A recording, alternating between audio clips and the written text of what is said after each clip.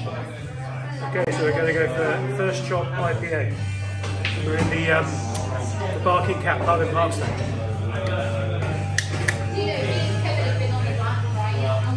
Smells a bit fruity. Probably.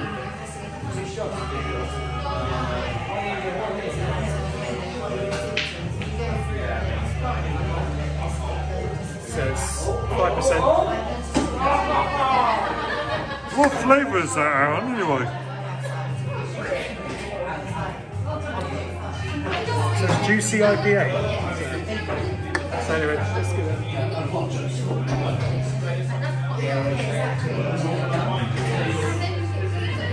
Quite grapefruity. Probably gonna get done for copyright. The music there in the background. It's quite, quite bitter.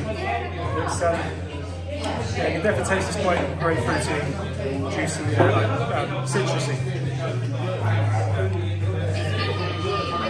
Yeah, it's smelling, yeah, definitely getting the citrus smell, as I always do. So that's been first chop IPA, and I give it about four out of ten. Not keen then. Right. Cheers. See you next video.